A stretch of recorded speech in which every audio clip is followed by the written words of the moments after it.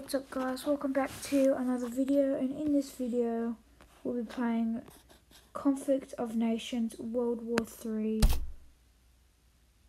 and as you can see Indonesia has came to try and invade us.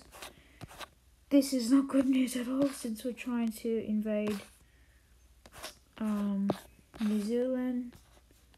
So we kind of have to send troops down back.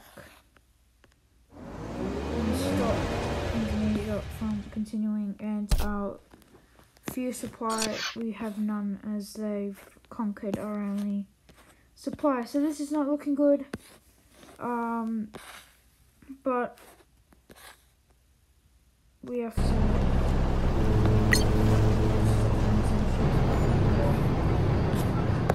because we can Indonesia,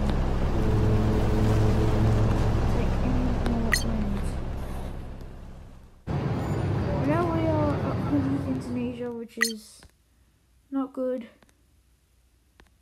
But so um, this is not good. But hopefully we can get back and we'll look at our cities.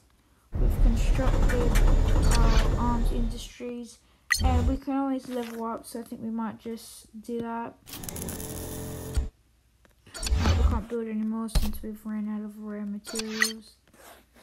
Um, and this is really not good news since now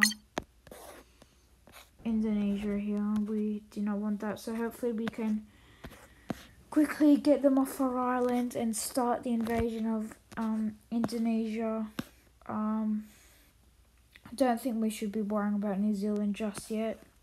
Because we really need to take care of Indonesia. And we really need them to get off our. And since they've, they're very weak, they're just nothing special.